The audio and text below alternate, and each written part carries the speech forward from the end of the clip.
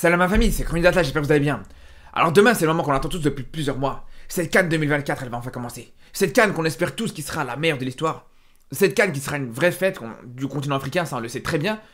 Mais dites-vous, ça a failli ne pas avoir lieu. Dites-vous, on a évité un vrai drame avant le début de cette Coupe d'Afrique. Pour ceux qui savent pas de quoi je parle, je parle bien sûr de la sélection gambienne qui a voulu se déplacer en Côte d'Ivoire. Les mecs, ils étaient tous prêts pour euh, voler vers la Côte d'Ivoire. Ils étaient avec leur petite tenue traditionnelle, leur petit drapeau à la main, ils étaient tous contents. Mais dites-vous, quelques minutes après le décollage, la moitié des joueurs ils se sont évanouis. La moitié des joueurs, en fait, ils manquaient d'oxygène parce que l'avion était trop petit. Et ce qui est fou, c'est que j'ai envie de vous dire, heureusement que c'était le cas.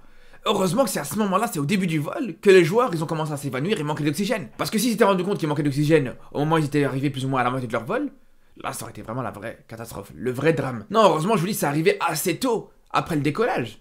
Et donc le pilote, il a pu s'en rendre compte et faire demi-tour rapidement et euh, revenir, en, revenir en Gambie. Mais heureusement que c'était le cas. Et d'ailleurs, bravo au pilote, parce que franchement, faut le faire. Vous allez me dire, bon, c'est son métier, heureusement qu'il le fait. Mais ça n'empêche pas qu'il a sauvé plusieurs vies. Parce que là, il y a plusieurs joueurs, comme je vous dis, qui se sont évanouis, qui se sont endormis un petit peu après le décollage par manque d'oxygène, et qui auraient pu tout simplement ne jamais se réveiller. Et bien sûr, ça aurait pu être le cas sur la majorité des joueurs, pour pas dire tous les joueurs au final. Parce qu'il y en a certains qui tolèrent un peu plus le manque d'oxygène, mais au bout d'un moment, je sais pas combien il y a de temps entre la Gambie et la Côte d'Ivoire en avion, mais c'est sûr que dans un avion qui manque d'oxygène, mais c'est clair que c'est très compliqué de tenir longtemps là-dedans.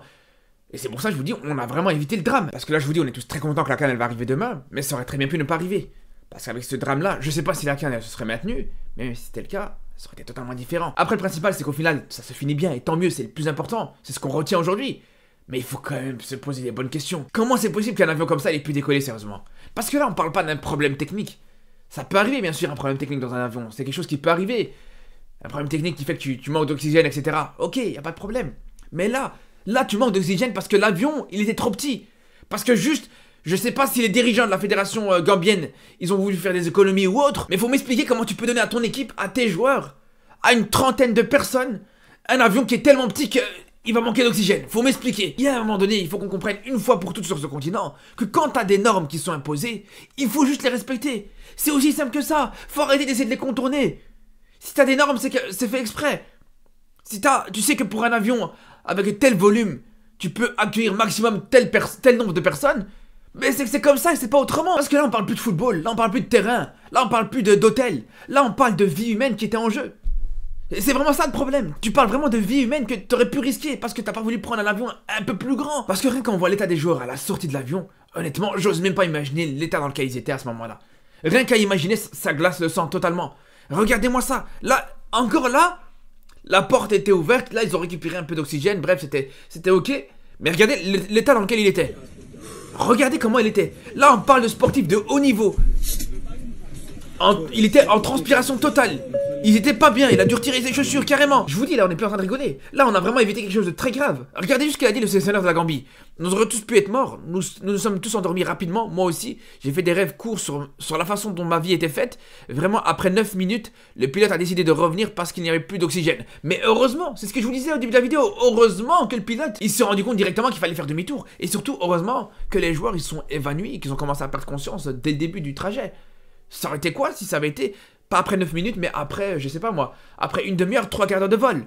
Ça aurait été un autre problème. Et regardez ce qu'il encore. Il y avait des joueurs qui se sont même pas réveillés immédiatement après l'atterrissage. Il a, donc il a fallu encore de temps. Nous avions presque contracté une intoxication au monoxyde de carbone. À partir du moment où t'as le sélectionneur de la Gambie qui te dit encore 30 minutes de vol et tout le monde aurait été mort, c'est là que tu te rends compte que là, on est plus là pour rigoler. Et ça, je dis ça à toutes les personnes qui me reprochent quand je fais trop de critiques sur le football africain.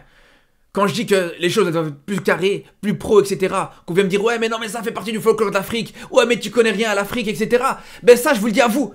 Il est où le folklore de l'Afrique maintenant? C'est ça votre folklore? Qu'une trentaine de personnes ils ont failli passer. Vous êtes content de ça? Ça vous fait plaisir de voir des choses comme ça?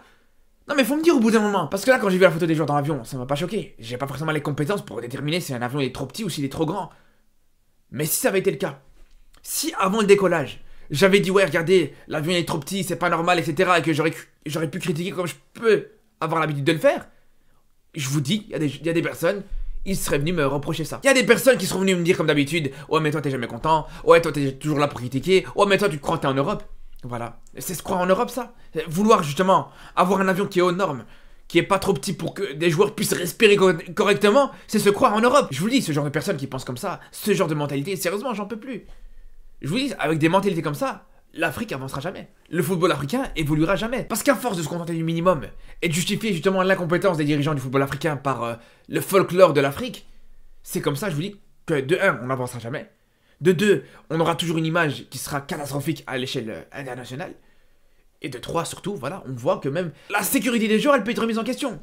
Là, on parle plus juste euh, d'un simple confort. Parce que dès que tu vas commencer à parler du respect des normes, dès que tu vas commencer à parler euh, d'un aspect un peu plus pro, etc., on va dire ouais mais les joueurs ils vont pas encore aller une vacances, les joueurs ils vont juste aller jouer des matchs de foot et ils vont rentrer chez eux. Mais les gars, juste déjà ça, juste d'aller jouer des matchs de foot et de rentrer chez toi, ça doit déjà entre les deux, il doit déjà y avoir plein de choses à prendre en compte. Il y a le déplacement, il y a la nourriture, il y a le logement, il y a les soins, il y a, tout ça. Donc, euh, au bout d'un moment, ouais, d'accord, ils vont juste aller jouer des matchs et ils vont rentrer chez eux. Mais il faut qu'ils le fassent dans les meilleures conditions, pour éviter le moindre risque. Et c'est pour ça que quand je vois encore aujourd'hui certains qui viennent reprocher à certaines nations, comme euh, les nations maghrébines, comme le Maroc par exemple, qui prennent leur propre cuisinier, qui prennent leur propre nourriture, qui prennent leur propre boisson, etc., qui se déplacent avec leur propre avion. Et je vous dis, les gars, comment on peut leur en vouloir aujourd'hui, sérieusement? Comment tu peux en vouloir à une nation aujourd'hui de vouloir faire les choses de manière pro, de manière carrée, de préparer les choses à l'avance, de savoir à l'avance quelle nourriture elle aura, quelle cuistot elle aura, dans quel logement elle va se trouver? Aujourd'hui, ça c'est encore une histoire qui te montre que tu peux plus en vouloir à une équipe de vouloir être pro.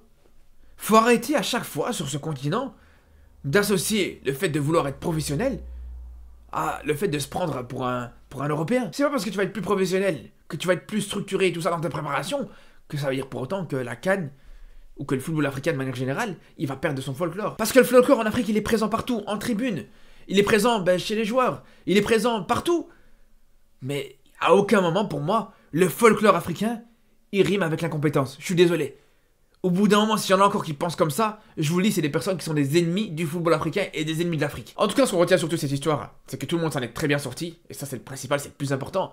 Mais surtout, ce que je vais retenir, c'est justement le fait que la Côte d'Ivoire a envoyé justement un avion de Air Côte d'Ivoire, il me semble, pour aller chercher cette, cette, sélection gambienne. Et ça, franchement, je trouve que c'est très très fort. Parce que autant c'est vrai que quand il faut critiquer, on le fait, mais quand il faut féliciter justement l'organisation pour des choses vraiment très très bien, il faut le faire aussi. Parce que ouais, je précise quand même une chose, parce qu'il y en a certains, je les vois revenir, mais cet incident qu'il a eu, avec, ou qui aurait pu avoir avec euh, cette sélection gambienne, ça n'a absolument rien à voir avec l'organisation de euh, la Cannes en Côte d'Ivoire.